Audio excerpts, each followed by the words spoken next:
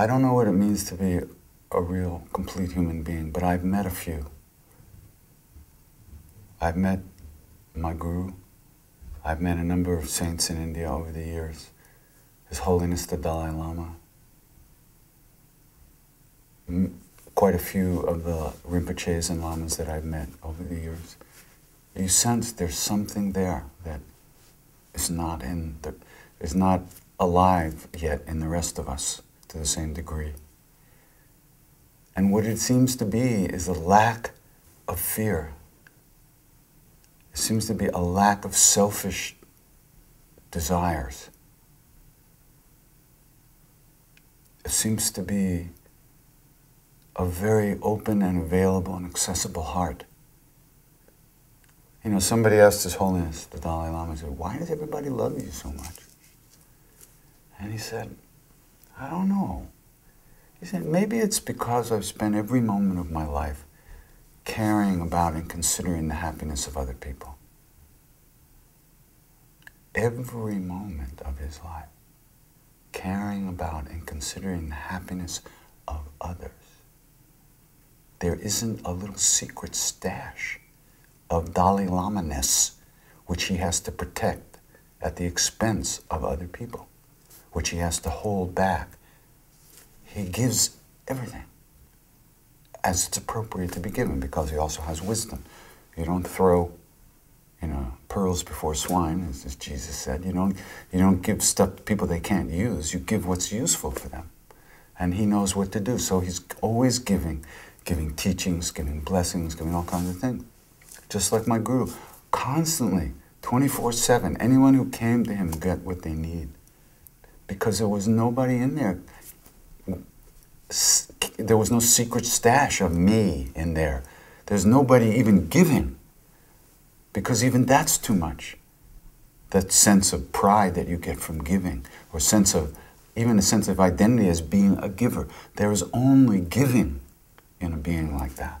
No one giving. There's just this flow of stuff that comes out of him constantly. Out of spontaneous compassion. It's not they're not trying.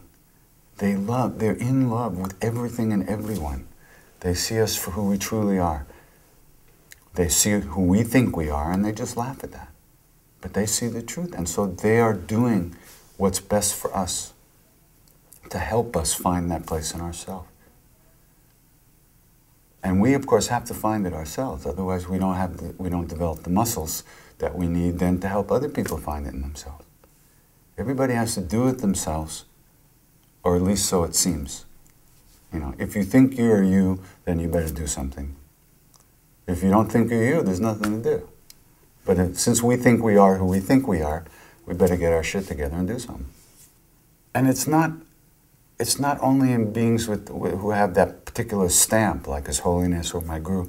You meet people who just are willing to give you everything at any time to share what they have without the fear that there won't be enough. My guru didn't own anything. All the temples that he had, he didn't have. They were government trusts. He, he wore a, a, a, a little dhoti around his waist, sometimes a, a, a t-shirt, or a, and a blanket over it all. And when he went somewhere, he walked off with just that. And no one knew if he's coming back. He didn't save for tomorrow, you know. He was so in the moment and so beyond fear and desire that he had no reason to even imagine that he had to save for tomorrow. You know? When you meet a real human being, it's, it's always a shock because their hearts are available. They're not protecting. They're not afraid of you. You know, we're afraid of everything. We're afraid of everything. You know, we, we get up afraid, we go to sleep afraid. Some of us have a little less fear than others in certain areas and some more. But basically fear, we get navigating around that fear all the time. We, we have a comfort zone we like to stay in. We don't go here, we don't go there. We stay with the people who, you know, because we're afraid. These guys go everywhere Anywhere. Maharaj used to sit in the street.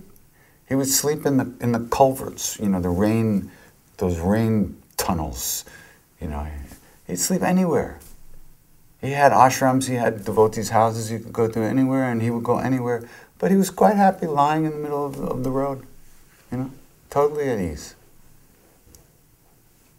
It was all his. And when, you know, and he would joke around. He would say, we'd try to give him money. Some people, some of the Westerners there had some bucks and try to make a donation to the temple. He would never take.